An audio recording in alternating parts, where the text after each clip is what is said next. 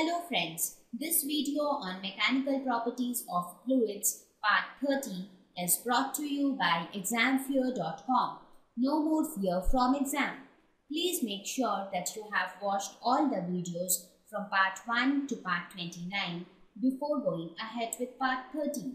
Let us talk about or let us discuss a small topic that is whether turbulence is a boon or bane.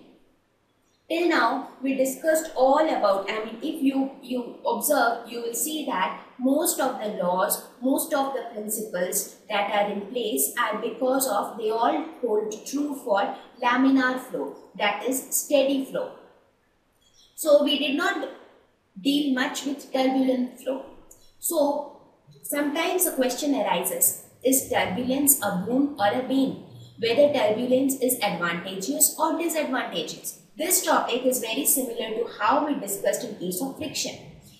Friction has both the sides of the coin. That means friction has advantages as well as disadvantages. Similarly, turbulence has both its own advantages and disadvantages.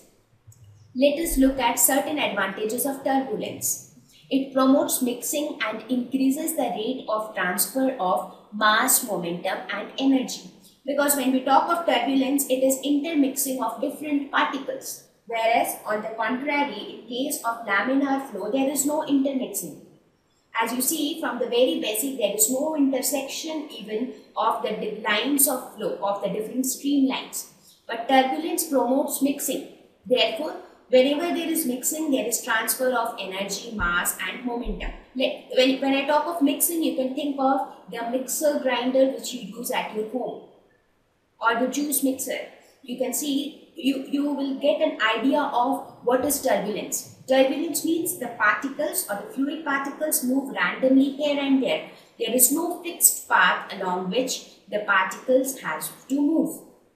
Similarly, it has its own disadvantages. That is, it dissipates kinetic energy in the form of heat so there is a waste of energy that is involved with turbulence. Whenever there is mixing of different particles, the particles collide with each other, heat is dissipated. So, so much of heat dissipation is disadvantage. Thank you. Please visit examfear.com to watch free educational videos, try free online tests, get the best quality study materials, study from the best tutors and mentors, and much more. Thank you once again.